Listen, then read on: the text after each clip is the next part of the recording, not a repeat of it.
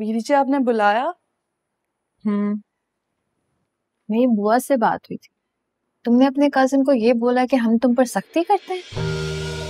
हाँ मैंने कहा है उसे। मेरा दिल नहीं चाहता उससे बात करने का। जब काम कर रही होती हूँ बार बार फ़ोन करता रहता है। मैं समझ सकती हूँ लेकिन तुम्हें झूठ नहीं बोलना चाहिए था। वो क्या सोचेगा हमारे बारे में? कि हम जालिम लोग हैं?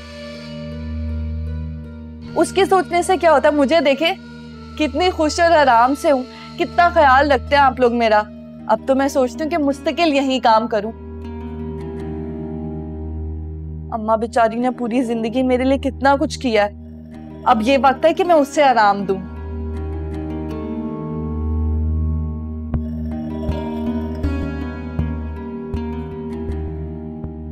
इधर आओ, इधर आकर बैठो।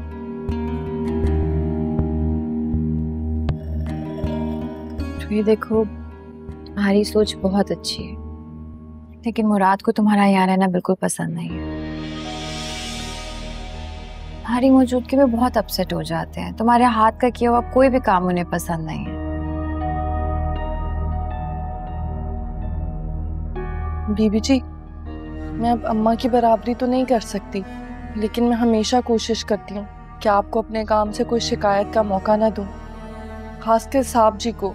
रूही मुझे तुम्हारे काम से कोई प्रॉब्लम नहीं है। बस मुराद अपसेट हो जाते हैं। उन्हें डिनर वाली बात भी अच्छी नहीं लगी। वो तो कह रहे थे, बुआ को वापस बुलाओ, रूही को भेजो।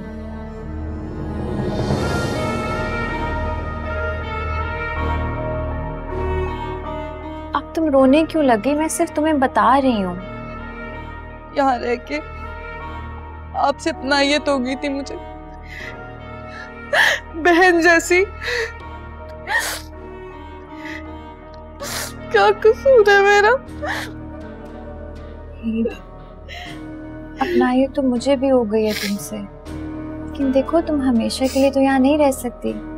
तुम्हारी शादी हो जाएगी, भी तुम अपने घर चली जाओगी, है ना? अच्छा रोना बंद करो। और एक काम करना, ऐसी कोई भी हरकत मत करना जिससे मुराद अपसेट हो।